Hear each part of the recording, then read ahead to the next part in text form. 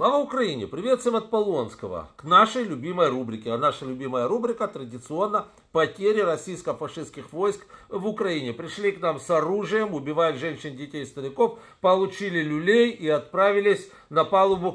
Нет, не на палубу.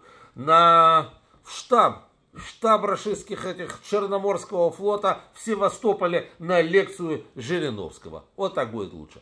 Да, ребята, это где им насыпали? Даже не будем трогать тот штаб, потому что это отдельная песня. Э, давайте разберемся, что у нас происходит. Происходит дичайшая контратаки расистов, пытающихся каким-то образом срезать наше, наш выступ, который мы отвоевали в районе ВРБВ. Ни черта у них не получается. Э, выступ не только выстоял, он еще и расширился, так сказать, распух и разбух во всех, причем во всех трех направлениях, да, то есть, э, ну, сзади-то, понятно, тыл, вот, а он разбухает, он бухнет дальше, больше становится и так далее.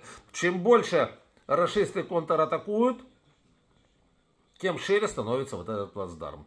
Ну, пожелаем им успеха в том же духе. Кстати, не зря Лавров лошадина. Бегает сейчас и везде клянчит переговоры. Просто, просто на коленях везде ползает. Везде лижет всем пятки. А вот, говорит, Россия хочет переговоры. Будут тебе переговоры.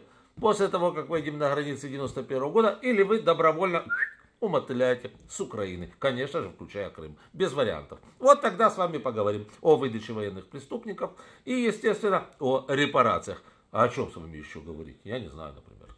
Да, так вот, э, также очень серьезно наши им сейчас насыпают люлей под Клещеевкой, наши продвигаются, под Андреевкой, наши продвигаются дальше.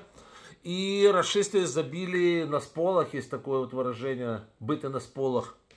Это значит, вот кричать, а вот так вот у них немножко паника. А, из-за Курдюмовки.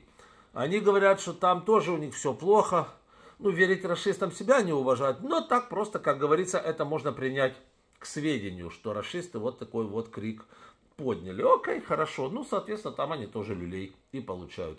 В Луганской области переходят в контратаку, но я же говорю, вот эти все их контратаки заканчиваются как-то все, ну вот, ну вот большой бякой для них. Вот и все, собственно говоря. Да. Итак, непосредственно к цифрам.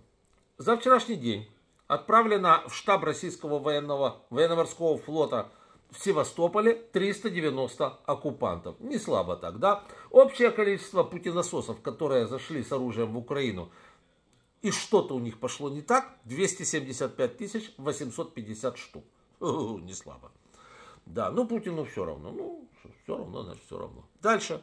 7 танков за вчерашний день отправлено в металлолом. Общее количество путинских танков, которые, как говорится, дошли в переплавку, но еще до нее не дошли, 4662. Также две бронемашинки. 8914 всего. Э, продолжается артиллерийский геноцид российской армии.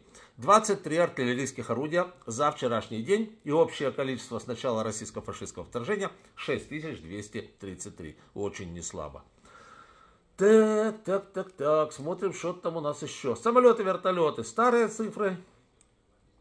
Ну да, 315, 316. И беспилотники, 21 штука за вчерашний день. Общее количество 4888. Цифра красивая, кстати, да.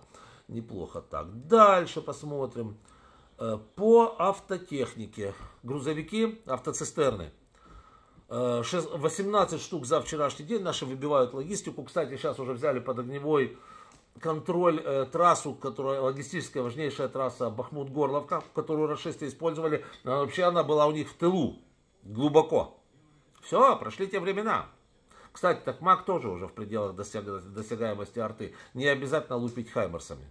На секундочку. Да, да, времена идут. Расистов пхнут. Да, 18 штук, значит, э, автотехники, 8734 с начала российско-фашистского вторжения.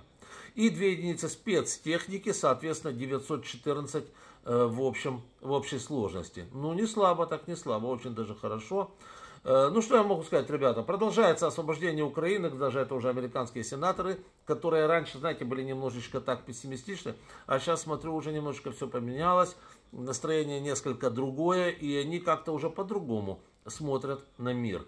То есть даже американские сенаторы говорят, да, да, да. Вот в таких условиях насыщенной обороны эти парни что-то делают. Они утилизируют российскую армию для нас фактически, для американцев.